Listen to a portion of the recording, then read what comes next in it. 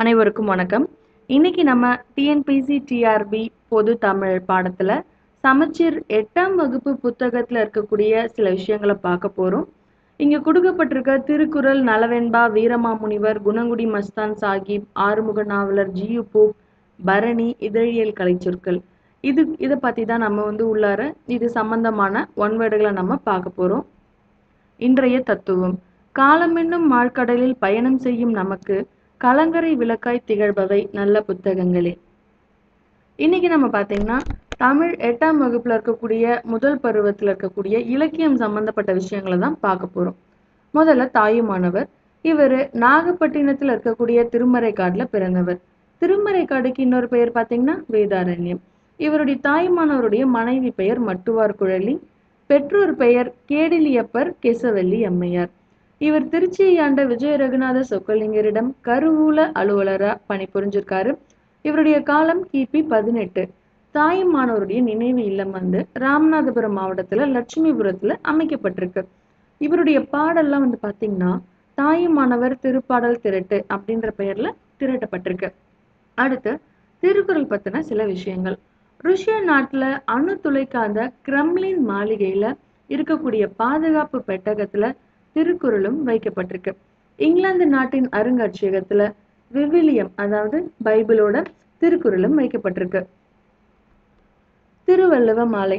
நமக்கு தெரியும் திருக்குறளை வந்து ரொம்ப புகழ்ந்து பாடின புலவர்கள் மொத்தம் ஐம்பத்தி மூன்று புலவர்கள். அவங்க பாடின ஐம்பத்தி ஐந்து ஐம்பத்தைந்து பாடல்களுடைய அந்த தொகுப்பு தான் வந்து திருவள்ளுவ மாலை. இதுல வந்து மூன்றாவது பாடல் தான் இந்த தமிழ் எட்டாம் வகுப்புல கொடுத்திருக்காங்க. அதை பாடினது கபிலர். அவருடைய காலம் கிபி இரண்டாம் நூற்றாண்டு. இவர் சங்க காலத்துக்கு பின் வாழ்ந்தவர். இங்கே கொடுக்கப்பட்டிருக்கக்கூடிய இந்த குரலோட ஸ்பெஷல் என்ன அப்படின்னா பற்றுக பற்றற்றான்.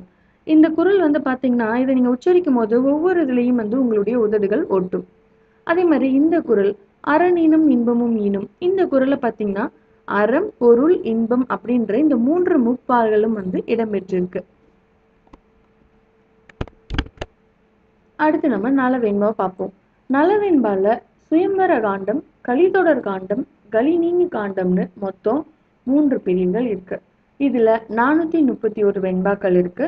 நலன் தமயந்தி வாழ்க்கை வரலாறு தான் நலவெண்பா. இதை எழுதினது புகழேந்தி புலவர். இவரை வெண்பாவிற் புகழேந்தின்னு சிறப்பிச்சு சொல்றாங்க. இவருடைய பிறந்த ஊர் பார்த்தீங்கன்னா தொண்டை நாட்டின் பொன் விளைந்த களத்தூர். வரகுண பாண்டியனின் அவை புலவராய் இருந்தவர் இவர். சந்திரன் ஸ்வர்கி அப்படின்ற வள்ளல் ஆதரிச்சவர் நல புகழேந்தி புலவர் அவர்கள். இவருடைய காலம் பார்த்தீங்கன்னா கிபி பன்னெண்டு. அடுத்து வீரமாமுனிவர். இவருடைய வா ஆயுட்காலம் பார்த்தீங்கன்னா ஆயிரத்தி அறுநூத்தி எண்பதுலேருந்து ஆயிரத்தி எழுநூத்தி நாற்பத்தி ஏழு வரைக்கும். இத்தாலி நாட்டை சேர்ந்தவர். இவருடைய இயற்பெயர் கான்ஸ்டாண்டின் ஜோசப் பெஸ்கி. இவருடைய முப்பதாவது வயசுல தான் இவர் சமய பணியை தொடங்க ஆரம்பிச்சாரு. இவருக்கு ஆங்கிலம் எபிரேயம் கிரேக்கம் தெலுங்கு வடமொழி நிறைய மொழிகள் தெரியும். இவர் முதல்ல தைரியநாதர் அப்படின்னு தமிழ்ல இவருக்கு ஒரு பெயர் வச்சுக்கிட்டாரு.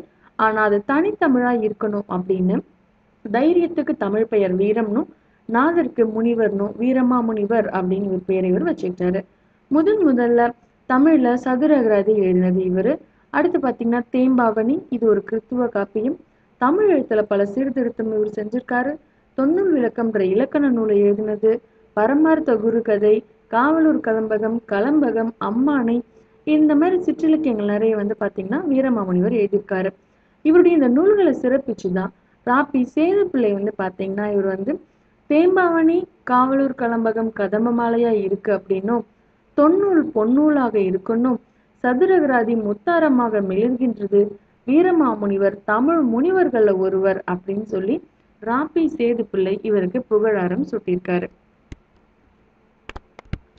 அடுத்து குணங்குடி மஸ்தான் சாஹிப் அவர்கள். இவருடைய வாழ்நாள் காலம் ஆயிரத்தி எழுநூத்தி எண்பத்தி எட்டு முதல் ஆயிரத்தி எட்நூத்தி முப்பத்தி ஐந்து வரை. மாதவஞ்சேர் மேலோர் வழுத்தும் குணங்குடியான் அப்படின்னு இவரை சிறப்பிச்சு சொல்றாங்க. இவருடைய இயற்பெயர் சுல்தான் அப்துல் காதிர். இவர் தாய்மானவர் மீது ரொம்ப ஈர்ப்பு கொண்டவர்.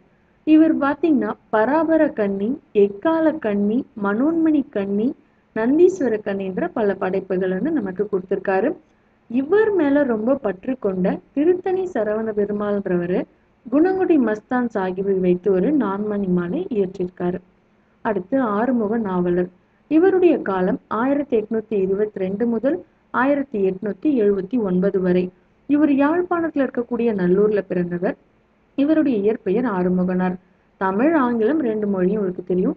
இங்க இருக்கிறது தான் பார்த்தீங்கன்னா ஆறுமுக நாவலர் அவர்களுடைய படம்.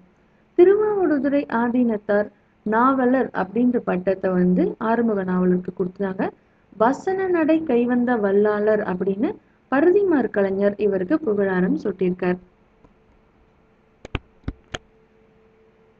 நம்ம அடுத்து ஜி போப் அவர்களை பத்தி பார்ப்போம்.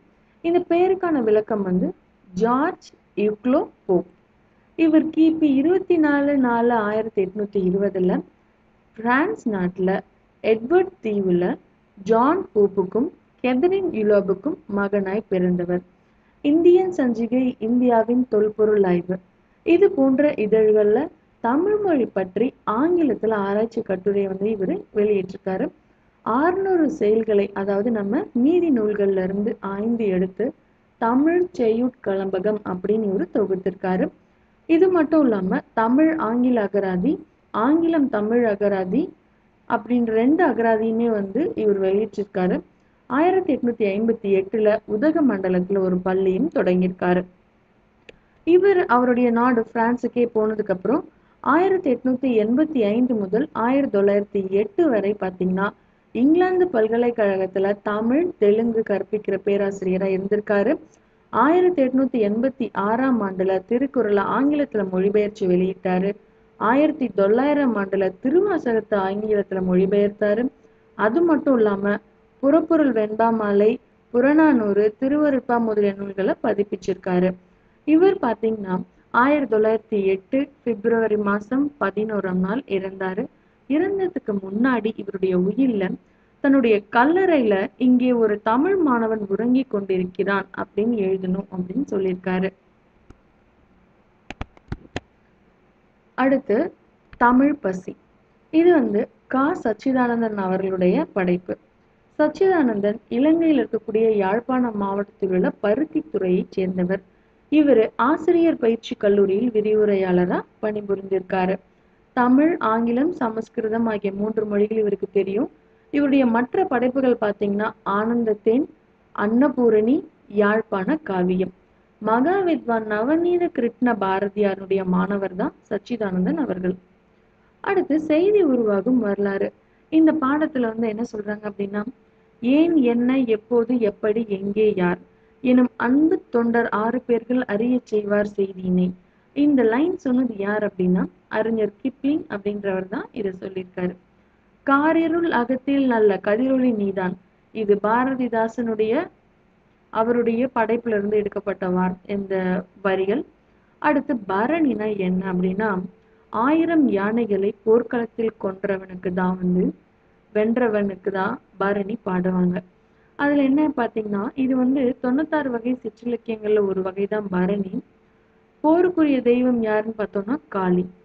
இங்க கலிங்கத்து பரணின்னு இப்போ ஒரு பேர் வச்சிருக்காங்க. இது ஏன் கலிங்கத்து பரணின்னு வச்சிருக்காங்கன்னா கலிங்கம்ன்ற நடத்துல இந்த ஒரு போர்ல இங்கு வெற்றி பெற்றது வந்து யாருன்னா குலோத்துங்க மன்னன். ஆனா குலோத்துங்க மன்னன் வெற்றி பெற்றான் இல்லையா? அவனோட பேரை வந்து இதுக்கு வைக்க மாட்டாங்க. கலிங்க அவங்க தோத்துட்டாங்க இல்லையா? அவங்க பேரை வச்சுதான் இந்த பரணியை பாடுவாங்க. அதனாலதான் கலிங்கத்து பரணி அப்படின்னு இதுக்கு பேரு. அடுத்து பக்கிம் சந்திரர். இவருடைய நூல் தான் ஆனந்த மடம். வந்தே மாதிரம்னு நமக்கு சொல்லக்கூடிய நம்ம பாடல் வந்து இவருடைய ஆனந்த மடம் அப்படின்ற நூல்ல இருந்து தான் எடுத்திருக்க எடுத்திருக்காங்க. அடுத்து உலகம் உள்ளங்கையில். இந்த பாடத்துல வந்து நமக்கு சில கம்ப்யூட்டர் பத்தின நிறைய விஷயங்கள் நமக்கு சொல்றாங்க. கிபி ஆயிரத்தி எட்நூத்தி முப்பத்தி மூணுல தான் முதல் கணினி கண்டுபிடிக்கப்பட்டிருக்கு. அதை கண்டுபிடிச்சது சார்லஸ் பாம்பேஜ் இவரை தான் நம்ம கணினியின் தந்தை அப்படின்னு சொல்றோம். முதல் செயல் திட்ட வரைவாளர் அதாவது புரோகிராமர் லேடி லவ்லேஸ் அப்படிங்கிறவர் தான். இணையத்திற்கு இன்டர்நெட்டுக்கு வித்திட்டவர் ஜான் பாஸ்டல். ஆயிரத்தி தொள்ளாயிரத்தி எண்பத்தி ஒன்பதுல சுவிட்சர்லாந்துல இருக்கக்கூடிய பிம்பெர்னர் லீ அப்படிங்கிறவர் தான் உலகளாவிய வலைப்பின்னலை உலகளாவிய வலைப்பின்னல் அப்படின்னு சொல்லிட்டு இன்டர்நெட்டுக்கு பெயர்த்திருக்கார் அதாவது நம்ம நெட்ல வந்து W W dot world wide வெப்னு சொல்றோம் இல்லையா? அதுக்கு இவர் தான் பெயரிட்டிருக்காரு. தமிழ் இணைய பல்கலைக்கழகம் தமிழம் அப்படின்ற ஒரு இணையதளத்தை வச்சிருக்கு. இதுல நம்ம தமிழ் எழுத்துக்களை எழுதவும் ஒழிக்கவும் கத்துக்கலாம். நூலைப்படி சங்க தமிழ் நூலைப்படி இது பாரதிதாசன் அவருடைய வரிகள் தமிழ் வளர்த்த சான்றோர்கள். இந்த பாடத்துல பாத்தீங்கன்னா இப்போ புதுக்கவிதை அப்படின்னாலே அது பாரதியார் தான். அதே மாதிரி சமுதாய புரட்சினா பாரதிதாசனார். பொது உடைமைனா திருவிக்கா தனித்தமிழுக்கு மறைமலை அடிகள் பேச்சு கலைக்கு அறிஞர் அண்ணாதுரை சிறுகதைனா அது புதுமை பித்தன்னு இவங்களுடைய இந்த தனி சிறப்புகளை இதுல எடுத்து சொல்லியிருக்காங்க. அடுத்து சுப்புரத்தினம் ஓர் கவி அதாவது பாரதிதாசனை பத்தி சுப்புரத்தினம் ஒரு கவின்னு சொல்லி பாரதியார் தான் ஒரு அவருக்கான ஒரு அந்த ஒரு அங்கீகாரத்தை கொடுத்துருக்காருன்னு இங்க சொல்றாங்க. இவங்க பாரதிதாசனுடைய நூல்கள் என்னென்ன அப்படின்னு பார்த்தீங்கன்னா இசையமுது குடும்ப விளக்கு மணிமேகலை வெண்பம் கண்ணகி புரட்சி காவியம் படித்த பெண்கள் இளைஞர் இலக்கியம் குறிஞ்சி திட்டு இதெல்லாம் வந்து இவருடைய படைப்புகள். தமிழுக்கு அமுதென்று பேர் இருட்டறையில் உள்ளதடா உலகம் புதியதொரு உலகம் செய்யும். இதெல்லாம் வந்து இவருடைய படைப்புகளுடைய புகழ்பெற்ற வரிகளாக இருக்கு. அடுத்து நம்ம இதழியல் கலைச்சொற்கள் பார்ப்போம். அதாவது நம்ம ஜேர்னலிசம்னு சொல்கிறோம் இல்லையா? அதில் இருக்கக்கூடிய கலைச்சொற்கள் என்ன அப்படின்னா புல்லட்டின் அப்படின்றது சிறப்பு செய்தி இதழை குறிக்குது. டெட்லைன் குறித்த காலம். எடிட்டோரியல்னா தலையங்கம்னு அர்த்தம்.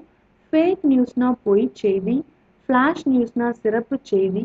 ஃபோலியோ நம்பர்னா இதழ் என்னன்னு அர்த்தம். கிரீன் ப்ரூஃப்ன்றது திருத்தப்படாத அச்சுப்படியை குறிக்குது. லே அவுட்னா செய்தித்தாள் வடிவமைப்பு. அதே மாதிரி இங்கே இருக்கக்கூடிய இந்த குறியீடுகள் பார்த்தீங்கன்னா இதுதான் வந்து ஒரு பிழை திருத்தும் போது ஷார்ட்டாக டக்கு டக்குன்னு நம்ம உங்களுக்கு சொல்றதுக்காக இதை யூஸ் பண்ணுறாங்க இங்கே மாதிரி ஒரு புள்ளி வச்சு அதில் ரவுண்ட் போட்டிருந்தாங்கன்னா அந்த இடத்துல முற்றுப்புள்ளி வைங்கன்னு அர்த்தம். அதே மாதிரி இந்த செமிகோலன் மாதிரி இருக்கே இது மாதிரி செஞ்ச இரு புள்ளிகளை சேர்க்கன்னு அர்த்தம். வினா குறி போட்டிருந்தா வினா அடையாளம் போடுங்க அந்த இடத்துலன்னு அர்த்தம். இப்படி உள்ளார இந்த இதுக்குள்ள நம்பர் எழுதியிருந்தா அங்க இருக்கிற எண்ணை எழுத்தாக மாற்றுகன்னு எழு ஆஹ் எண்ணை எழுத்தாக எழுதுக அப்படின்னு அர்த்தம். அதே மாதிரி இங்க இருபதுன்னு உள்ளார எழுதியிருந்தா எழுத்தை எண்ணாக எழுதுக அப்படின்னு அர்த்தம். இந்த மாதிரி ஒரு ஒரு சிம்பிளுக்கும் பார்த்தீங்கன்னா ஒரு ஒரு அர்த்தம் இருக்கு.